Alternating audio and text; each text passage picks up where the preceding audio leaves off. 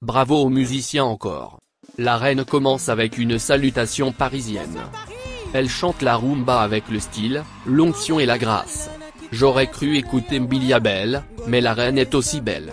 Vraiment quelle prestation vaut. Majabu a commencé. Quelle élégance aussi pour cette mère seule. Sa fille doit être fière de maman.